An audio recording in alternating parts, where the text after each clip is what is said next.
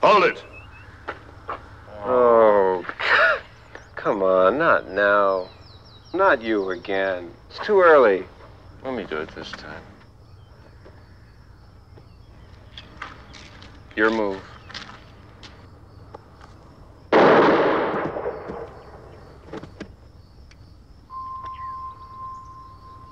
John?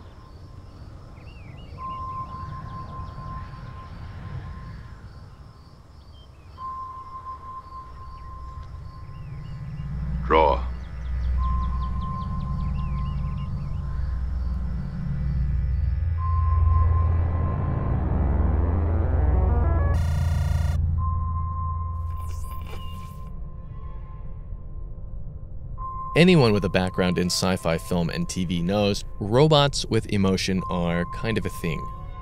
In many artistic renderings of artificial intelligence, we imagine that AI will have feelings like anger or resentment I want more life. Father. or even love. Those feelings, we imagine, will be the prime cause of the robot uprising. Robot uprising. But in reality, if an AI isn't programmed to have feelings, it won't. You mean to tell me he's a robot? That's what I mean to tell you. I could see your lips move. Genius. You know much that is hidden, though, Tim.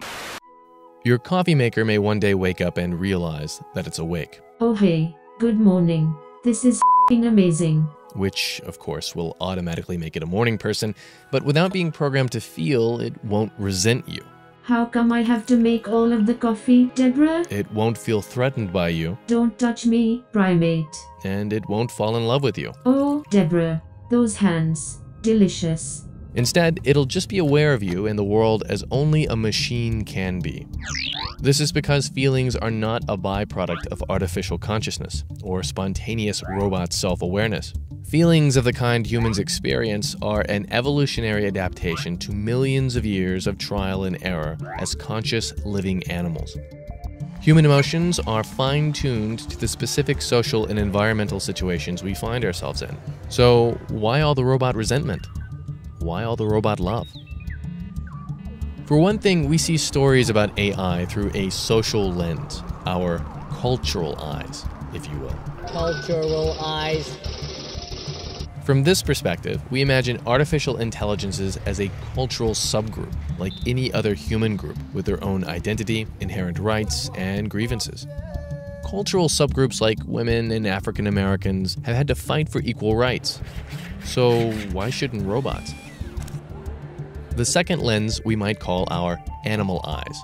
Animal eyes. Through our animal eyes, we see artificial intelligence as another potential predator on the savannah, an unknown entity that could well be a threat. As evolution has taught us, we err on the side of caution. And perhaps one reason we imagine AI as angry or resentful is that we fear they could end or replace humanity. Human beings are a disease, a cancer of this planet. You are a plague. Mixed in with both of these, there is a thing called the pathetic fallacy. Pathetic fallacy. Pathetic from pathos, referring to emotion, and fallacy, referring to falseness. Pathetic fallacy. When someone falls into the pathetic fallacy, they falsely attribute emotional motivation to nature or inanimate objects. For example, when we say that our car is mad at us, or we attribute a printer malfunction to the printer's vindictive desire to kick us when we're down, or we think our coffee maker is judging us. Do you really need a third cup of coffee, Deborah? We play with this pathetic fallacy all the time, and it makes sense. Humans see the world through an emotional lens in order to make sense of it. Human emotion is another tool we use for survival, a tool provided by evolution. However, the pathetic fallacy is also a major reason why so many stories unscientifically attribute emotional motivations to robots and AI. Typically, this is a failing of the robot uprising subgenre, at least from an evolutionary perspective. When a story assumes AI will develop its own emotions without the fine tuning of natural selection, it falls hard on the fallacy, as in false, side of the pathetic fallacy. However, on occasion the stars do align and we find a story that doesn't just fall into the pathetic fallacy, it solves it by using emotion to explore consciousness in artificial intelligences. And rarely have those stars aligned so well as with HBO's Westworld. He shot six robots. Je ne comprends pas. However, for a complete record, I'm feeling very depressed. Westworld is an immersive theme park that allows people from a futuristic, boringly perfect society to indulge base impulses of greed, sex, and murder.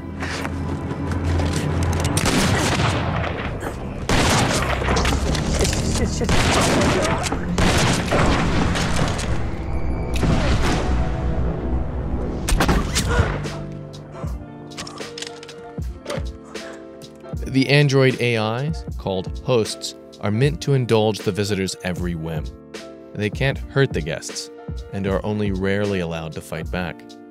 Yet, the success of the park depends on the hosts displaying a convincing facsimile of human emotion. You're not real.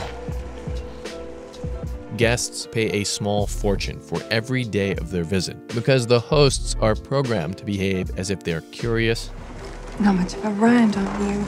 affectionate, I am what I am because of you. protective, Take your hands off her. Well, let this be a lesson. smug, or terrified. No. No. No. But behind the scenes at the park, the lie of their emotions is revealed. The damage done to the host bodies is repaired, and their emotions can be switched off with a simple voice command. Cognition only, no emotional affect. The comfort of the park is that no one is really being raped, murdered, or tortured. Because the hosts aren't self aware, they're puppets on a complex web of strings, notes on a player piano. But what if the emotions they are programmed to imitate can somehow become real? Just so you know, we are about to spoil the hell out of this. Consider yourself warned. You can hear it, can't you? That little voice. For years before the show opens, the hosts have stayed on the loops created for them. They relive a day or a couple of days over and over, improvising small adjustments based on interactions with guests. Then, a programming innovation called Reveries links emotion to memory, providing a sense of continuity between present and past that the hosts don't usually have. The Reveries also allow some hosts to access previous programming builds or assignments, times when their bodies were used in different storylines. The wider context is disorienting, and a few hosts malfunction. Others go in unexpected new directions. The show leans heavily on a theory of consciousness called the bicameral mind. The theory has been fairly widely discredited for use in human psychology, but it works in the show as a map for how artificial intelligences, like the hosts, might achieve self awareness. According to park director Robert Ford, played brilliantly by Anthony Hopkins, memory and improvisation are two stages in host awareness. I thought it was debunked. No, it's a theory for understanding the human mind, perhaps, but not as a blueprint for building an artificial one.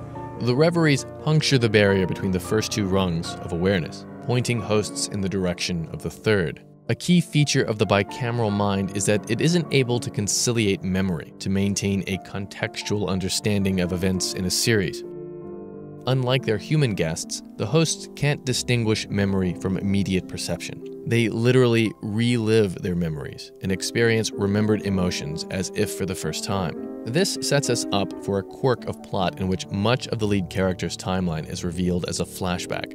Dolores, the park's oldest host, goes off her loop in present time to relive a journey she took with a guest named William 30 years before, only to meet him again at the end and realize he's aged and hardened into the man in black. There are several moments when Dolores can't tell the difference between memory and perception. It's like I'm trapped in a dream or a memory from a life long ago. One minute I'm here with you, and the next. Maeve, another host in the midst of awakening, also has moments of bleed over. But the stress and confusion of this overlap are not without purpose. The disorientation shows that hosts have entered the maze. The maze.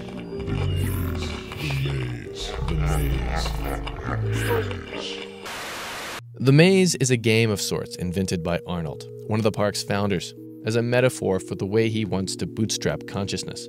Each host's personality is built around a cornerstone memory, a backstory. Yes, Bernard.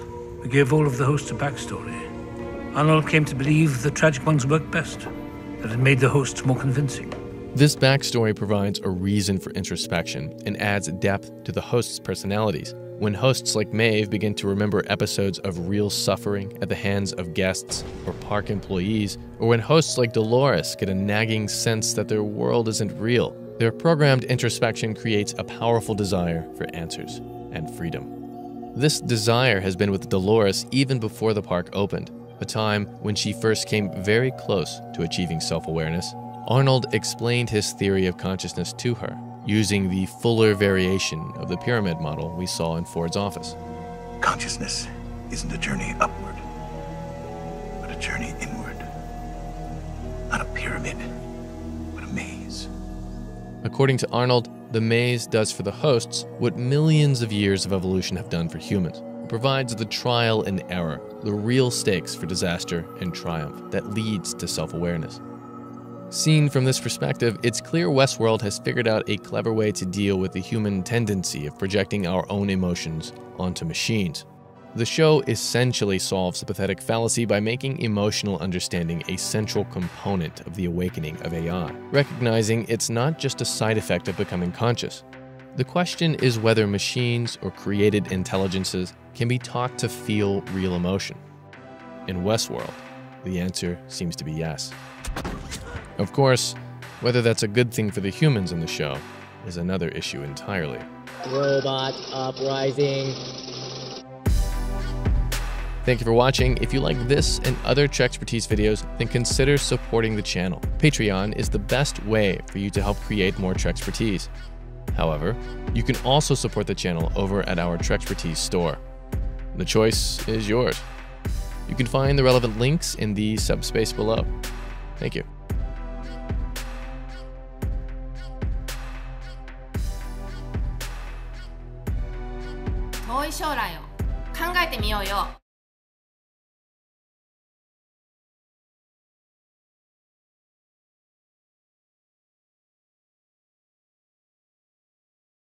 So long, human filth. You have outlived your usefulness.